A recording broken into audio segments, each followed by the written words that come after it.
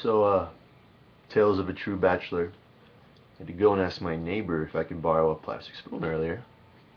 Because I couldn't find my spoon. And by that I mean I could not find the one spoon that I own. I have a knife, a fork, a spoon, metal, real, good, sturdy, keep them clean, good to go. Couldn't find the spoon. Wanted the ice cream.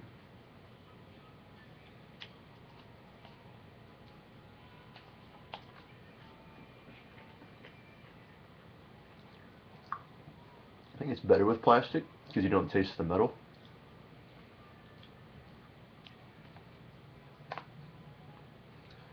Just need to find a real job and then I can get a real place.